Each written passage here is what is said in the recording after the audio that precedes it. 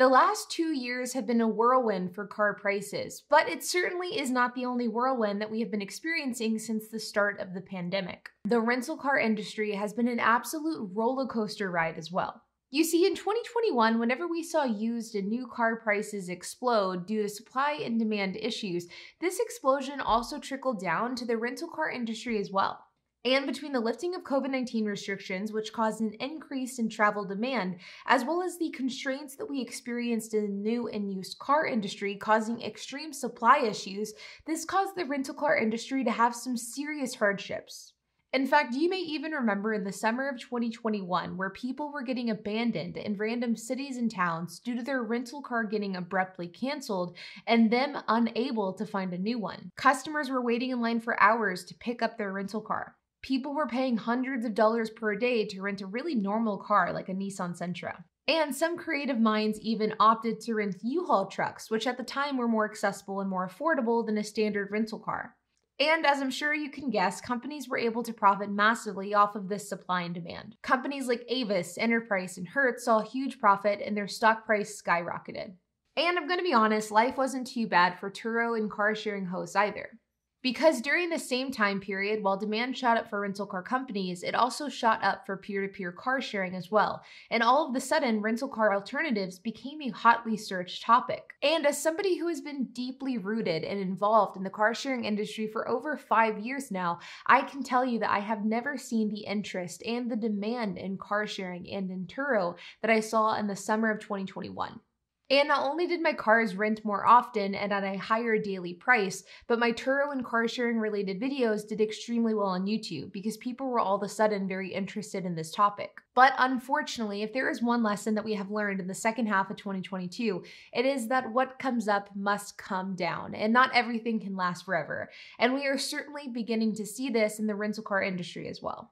The rental car company Hertz posted recent earnings, and though the earnings were still higher than expected, they were quite a bit lower than this time last year. Hertz posted adjusted earnings of $1.08 per share, which was actually above the expectation of $1.05 per share.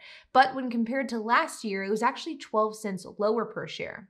But the reason for the year over year decrease probably isn't what you think it is because it actually wasn't because of a decrease in demand in customers or a decrease in daily trip price. It was, in fact, depreciation costs. According to the Hertz CFO in an interview, depreciation is going to go up because of the net effect of used car prices coming down, but utilization is remaining high across the industry and Hertz. We're seeing undeniable strength. And according to Hertz, their fleet utilization is at 80%, which is on par with industry standards. Now, I think that this is really interesting, and this is actually something that I have been predicting and talking about a lot, specifically in the context of peer to peer car sharing.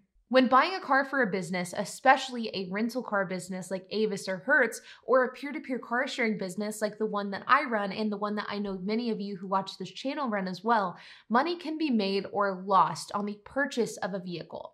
And my biggest concern with the used car spike price that we have seen over the last year has been with people who have potentially overpaid for a number of different cars that they have then listed on peer to peer car sharing platforms like Turo or GetAround. And this concern is amplified with people that have overpaid for multiple cars that they have financed in order to list those cars on Turo. And they're actually not able to pay for those cars unless those cars are being actively rented out. And honestly, in some cases, this can be a recipe for disaster. So, to address the question of this video, is the rental car industry crashing? And to be honest, in my opinion, I think the answer is no. But is there a good chance that we're going to be experiencing some major shifts in the rental car industry over the next couple of months or in the next couple of years? And I think the answer is a resounding yes. But let me explain.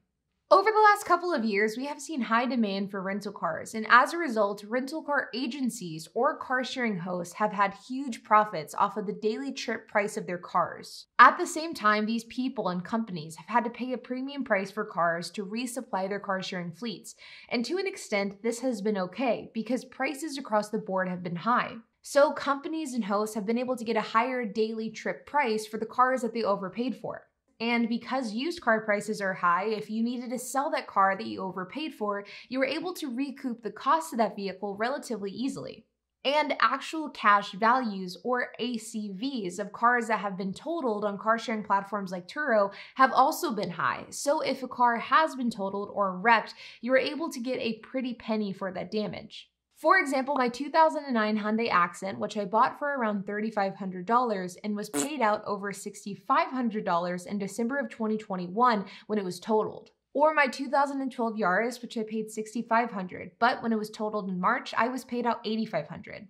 Or even my Maserati Ghibli, which I paid $29,500 and was paid out $32,000 when it was totaled in January. The high valuations of vehicles have to an extent been a bit of a safety net for rental car agencies and car sharing hosts because if a car needed to be sold or if a car was totaled, you were able to recoup the cost of that vehicle despite the fact that you overpaid for that car.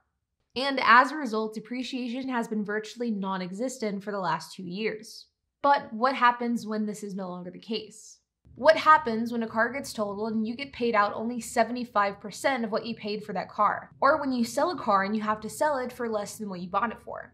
This is where we'll begin to see the biggest shift in the rental car industry. And of course, this will affect the price per share and the profitability of rental car agencies. But at the end of the day, companies like Hertz or Avis knew this was coming sooner or later. And I doubt Hertz is surprised or even upset about their earnings because they knew this was inevitable. But car sharing hosts, on the other hand, are where I believe that we will see some pretty serious shifts because there are car sharing hosts out there that have overpaid for multiple cars and they will not be able to absorb the losses that large rental companies are able to absorb. And I predict that we will begin to see a lot of over leveraged car sharing hosts begin to go under. And another factor I do want to touch on is the demand factor. Hertz CFO did mention that demand is still strong, but this is another aspect of the equation that I think will begin to shift. Now, don't get me wrong, peer to peer car sharing is still booming. I have 19 cars in my car sharing fleet and currently see about an 85 to 90% utilization rate. But I am also prepping myself and my business for a decrease in demand because I believe that as we head deeper into recession, rental car companies and car sharing hosts will definitely take a hit. The severity of that hit, though, is definitely a question that's still up in the air. I've mentioned this in a lot of past videos, but we will see a drop in demand in the rental car industry, but the demand will not drop the same across the board. I believe that economical cars used to get to work, run errands, transport the family. These are segments of the rental car industry and peer-to-peer car sharing industry that will not be heavily impacted by a recession. While exotic cars, high-end luxury cars, and tourist-focused cities, these are segments I believe will be impacted much more severely. And for car sharing hosts and car sharing companies that have over leveraged themselves in these segments, I think they could be in for a tough few years. In summary, I do not think the rental car industry is crashing, but I also don't think that we are immune to being impacted in some way, shape, and form by a recession. Though, as a host of low to mid tier economy cars, this is not something I'm overly concerned about.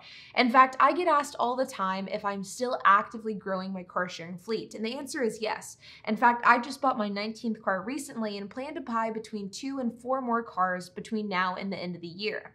And if you're interested in learning and checking out how I recommend running and buying cars for a car sharing fleet, I will include some of my best videos down in the description below that I think could be a huge value to anyone that's interested.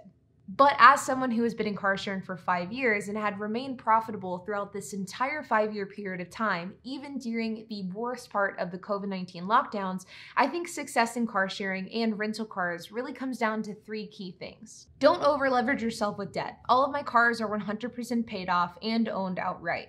Buy at the lowest point of the depreciation curve. This is your safety net. Don't put all of your eggs in one basket. Don't only buy high-end luxury cars. Mix in some economical ones for some protection and diversification. And same goes for specific types of cars. I would definitely recommend diversifying your fleets with different makes, models, sizes, economical status, and so on. I wholeheartedly believe that if you do these three things, you will be able to withstand any shift that we see in our economy as well as the rental and peer to peer car sharing industry. And you will be well set for not only the next few months, but also the next few years as well.